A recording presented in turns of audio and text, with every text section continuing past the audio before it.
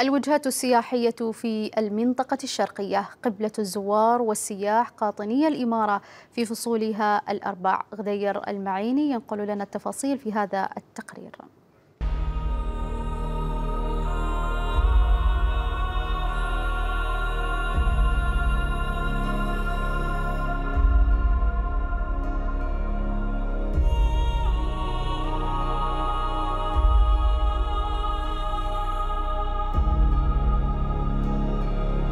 قطرات دقت باب الصخور والجبال وأحيت ما في جوفها من بعد سنين.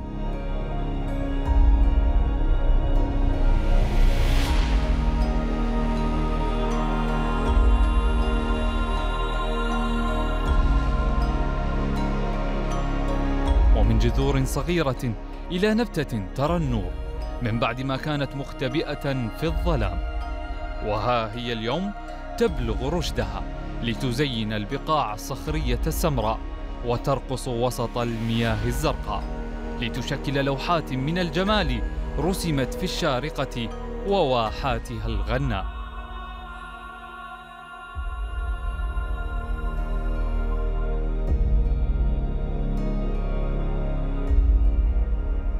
ففي مدينة خورفكان المدينة الساحلية التي تحيطها الجبال الساحرة مظاهر فرحة بالجمال لم تغب عن أعين السياح والقاطنين.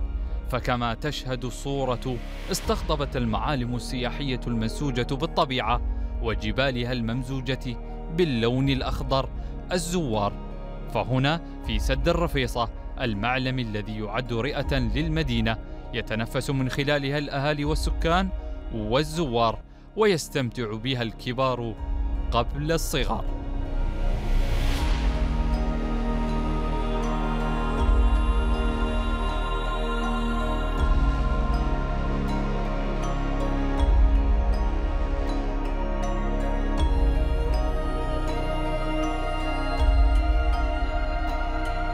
هواء منعش وجلسات على ضفاف الوديان وسلة مليئة بالفواكه من كل الألوان وصوت خرير المياه.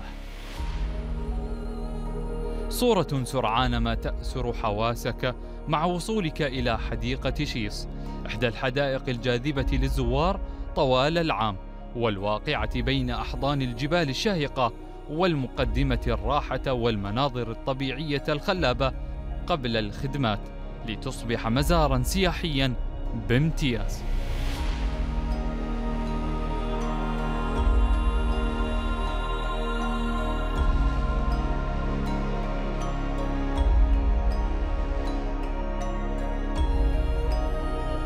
وها هي كلبة؟